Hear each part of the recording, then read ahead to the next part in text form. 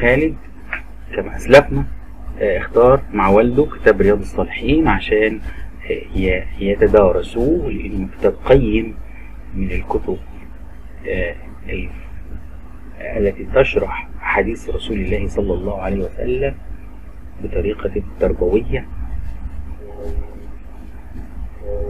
الأستاذ جاد أبو خالد له جلسة مع أولاده كل يوم بعد المغرب ما بين المغرب والعشاء بيقرأوا فيها القرآن. كل واحد بيقرأ خمس آيات عشر آيات كل واحد على حسب سنه وعلى حسب قدرته. الوالد آه، بيستفتح بالذي هو خير ويبدأ القراءة. ثم يعقبه الأم ثم آه، يعقوب خالد ال- الولد الأكبر ثم إبراهيم ثم خديجة ثم هاجر الصغيرة. الوالد آه، قال لخالد عايزين نعرف آه، فضائل القرآن وتقرأ لنا من كتاب رياض الصالحين. قال له حاضر يا بابا. وبدأ القراءة.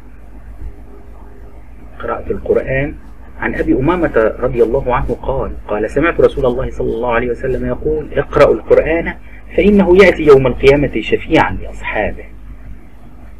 يقول أستاذ جاد كما ترون يا أبنائي فإن المداومة على قراءة القرآن على قراءة القرآن تشفع لصاحبها يوم القيامة. اقرأوا القرآن عليه الصلاة والسلام. رسول الله صلى الله عليه وسلم يقول اقرأوا القرآن فإنه يأتي يوم القيامة شفيعا لأصحابه. يعني القرآن بيجي يعني يقول يا ربنا سبحانه وتعالى ده قرأ هذا قارئ. يا رب سامحه. لو كان عمل حاجة غلط سامحه. هو ده معناه الشفيع الشفيع اللي أنت تروح لواحد كبير مثلا واحد مسؤول كبير مثلا وتشفع لواحد عشان آه، مصلحته تتقضى أو مثلا آه، يكون عامل حاجة غلط والمسؤول الكبير ده إيه يعفو عنه. فربنا سبحانه وتعالى آه، هو الحكم يوم القيامة. القرآن كأنه شفيع كأنه شخص بيروح يقضي مصلحة شخص عند مسؤول أو يحاول إن هو يشيل المسؤولية عنه لو كان عمل حاجة غلط. اقرأوا القرآن فإنه يأتي يوم القيامة شفيعا لأصحابه قراءة قراءة القرآن بترفع درجات صاحبها. ومنزلته عند ربنا يوم القيامة القيامة. ومق- ومقدار ما يحفظ من القرآن تكون منزلته عند عند عند ربنا سبحانه وتعالى. يعني كل واحد فينا منزلته عند ربنا بمقدار ما يحفظ من القرآن. عن عبد الله بن عمرو بن العاص رضي الله عنه عرفنا الكلام ده منين؟ عبد الله بن عمرو بن العاص روى عن رسول الله صلى الله عليه وسلم سمع من رسول الله حديث وبيقوله لنا. يقال لصاحب القرآن اقرأ وارتقي ورتل كما كنت ترتل في الدنيا فإن منزلتك عند آخر آية كنت تقرأها. يقال لصاحب القرآن اقرأ اقرأ وارتقي ورتل كما كنت ترتل في الدنيا فإن منزلتك عند آخر آية تقرأها. وكأن القراءة يوم القيامة أو عند ربنا سبحانه وتعالى بالحفظ. الإنسان حافظ قد إيه من القرآن في صدره؟ ما هو مفيش مصاحف يوم القيامة. بيقول لك أنت هتقرأ من من صدرك من أنت حافظه. كل ما كنت حافظ أكتر كل ما إيه؟ ما ما تقرا أكتر كل ما منزلتك تعلى عند ربنا سبحانه وتعالى. يقال لصاحب القرآن اقرا وارتقي ورتل كما كنت ترتل في الدنيا. فإن منزلتك عند آخر آية تقرأها. اذا سوره ال- البقرة لها منزلة عظيمة عند ربنا سبحانه وتعالى. دي أول سوره في القرآن بعد سورة, الفاتحة. عن عبد الله بن مسعود ابي ابي مسعود البدري عن أبي مسعود البدري. عن النبي صلى الله عليه وسلم قال من قرأ بالآيتين من آخر سورة البقرة في ليلة كفتاه. لو قرأ آخر آخر آيتين من سورة البقرة في ليلة كفتاه يعني كفاية عليه قوي. وعبد آه، أبي هريرة آه، بيقول لا تجعلوا بيوتكم مقابر. إن الشيطان ينفر من البيت الذي تقرأ فيه سورة البقرة. لا تجعلوا بيوتكم مقابر. إن الشيطان الحديث ده رواه أبو هريرة.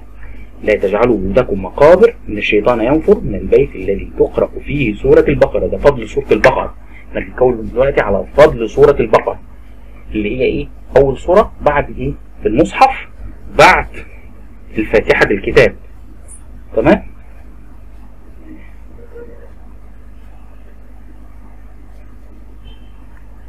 والنبي عليه الصلاة والسلام آه، قال لسعيد رافع بن المعلى ألا أعلمك أعظم سورة في القرآن قبل أن تخرج من المسجد فأخذ بيدي فلما أردنا أن نخرج قلت يا رسول الله أنك قلت لأعلمنك أعظم سورة في القرآن قال الحمد لله رب العالمين هي السبع المثاني والقرآن العظيم الذي أوتيته بفضل سورة الفتحة فاتحة الكتاب.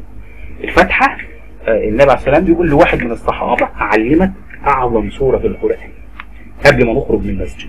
فالنبي عليه السلام خرج فراح أدركه الصحابي ده لحقوا قال له يا رسول الله أنت قلت لي إن أنت هتعلمني أعظم سورة في القرآن. فقال له النبي عليه السلام أعظم سورة في القرآن الحمد لله رب العالمين. هي السبع المثاني والقرآن العظيم الذي أوتيته. سبع المثاني يعني إيه؟ يعني هي سبع آيات ولكنها تتكرر. مثاني يعني تتكرر. مثاني ماشي؟ مثنى مثنى يعني اتنين اتنين هي تتكرر ماشي؟ والقرآن العظيم وكأن الفاتحة فيها كل القرآن. تمام؟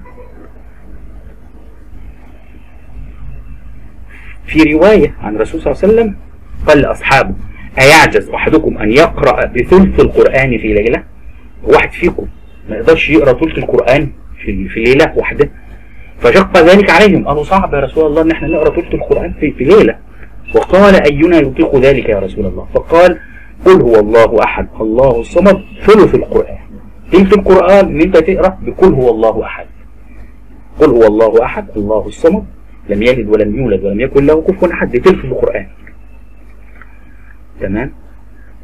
في سورة 30 آية شفعت لصاحبها حتى أدخلته الجنة. كان في واحد بيحب يقرأ قوي آه سورة آه تبارك الذي بيده الملك. تبارك الذي بيده الملك وهو على كل شيء قدير الذي خلق الموت والحياة ليبلوكم أيكم أحسن عملا. هي اسمها سورة الملك. سورة الملك كان واحد بيحب يقراها على طول يقراها على طول يقراها على طول يقراها على طول. فإيه؟ هذه السورة شفعت له يوم القيامة. راحت لربنا سبحانه وتعالى السورة نفسها وقالت له يا رسول الله يا رب يا رب يا رب هذا الرجل بيحب تبارك الذي بيده الملك فشفعت له ودخلته الجنة. تمام؟ ده فضل سورة إيه؟ سورة الملك. من القرآن سورة ثلاثون آية شفعت لرجل حتى غفر له وهي تبارك الذي بيده الملك. من القرآن سورة ثلاثون آية. ده ده إيه؟ ده ده حديث عن أبي هريرة. حديث صحيح عن أبي هريرة بيقول إيه؟ من القرآن سورة ثلاثون آية شفعت رجل حتى غفر له ويتبارك الذي بيده الملك. هي سورة الملك. بيحب يقراها بيحب يتلوها في الصلوات وهو بيصلي بالناس وهو بيصلي لوحده. يحب يقرأ هذه السورة. السورة شفعت له يوم القيامة قالت له يا ربي هذا الراجل بيحبني. فإيه؟ فاشفع له فاغفر له وارحمه تمام؟ فشفعني فيه. عن في فضل المعوذتين فضل المعوذتين. عن عقبة بن عامر أن رسول الله قال ألم ترى آيات أنزلت هذه الليلة لم يرى مثلهن قط؟ قل أعوذ برب الفلق وقل أعوذ برب الناس. من ربنا سبحانه وتعالى عن عقبة بن عامر ده راوي الحديث. بيقول لك النبي عليه الصلاة والسلام لما أنزلت عليه هذه السور اللي يقول أعوذ برب الفلق وقل أعوذ برب الناس قال ألم ترى آيات أنزلت هذه الليلة لم يرى مثلهن قط. دي الآيات بقى دي ما, ما شفتش زيها. الآيات ديت في في جلالها وفي وفي يعني قدرتها على إن هي تعيذ الشخص من الشياطين وتعيذ الشخص من الحسد. النبي عليه السلام لما نزلت هذه الصور لم يعد يستعيذ بغيرها. ما كانش ما عادش النبي عليه الصلاة والسلام بيستعيذ بغير. قل أعوذ برب الفلق وقل أعوذ برب الناس. أعوذ يعني أنا إيه؟ بستجير بربنا أعوذ يعني إيه؟ أعوذ يعني أنا إيه؟ بطلب العون.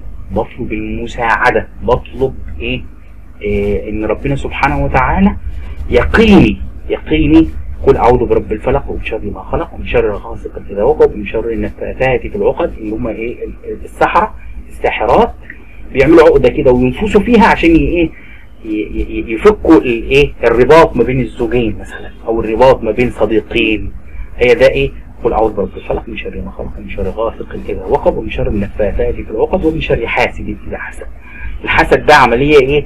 بيبقى الواحد يبص للشخص ويتمنى زوال النعمة عنه. ده الحسد. أنت تبص لواحد عنده نعمة. واحد راكب عربية يا سلام راكب عربية. ويكون نيتك إن أنت إيه؟ ربنا يزيل منه النعمة دي. ده الحسد. إنما الغبطه إن أنت مثلا تقول يا رب أنا نفسي في عربية زي ربنا يبارك له فيها. تقول كده لما تشوف حاجة حلوة أو حاجة نعمة عند حد. بسم الله ما شاء الله. ربنا يبارك له فيها. آه، ربنا يقيه شرها ربنا يقيه شر عيون الناس. والله أنا نفسي ربنا سبحانه وتعالى يرزقني بالنعمة اللي عنده دي. نفسي يبقى عندي فيلا زيه. نفسي يبقى عندي عربية زيه. نفسي يبقى عندي نعمة زي النعمة اللي عنده دي. بس ما تمناش زوال هذه النعمة. في فرق بين الحسد والغبطة. الحسد إن أنا عايز الشخص ده النعمة تزول من وشه. ده ده الحسد. إنما الغبطة إن أنا عايز يبقى عندي زيه بس أنا بتمنى له الخير وبتمنى له النعمة ما تزولش منه. تمام؟ يبقى إيه المعوذتين؟ اللي هو قل أعوذ برب الفلق وقل أعوذ برب الناس. عقبة بن عامر بيروي عن رسول الله صلى الله عليه وسلم حديث بيقول إيه؟ ألم ترى آيات أنزلت هذه الليلة؟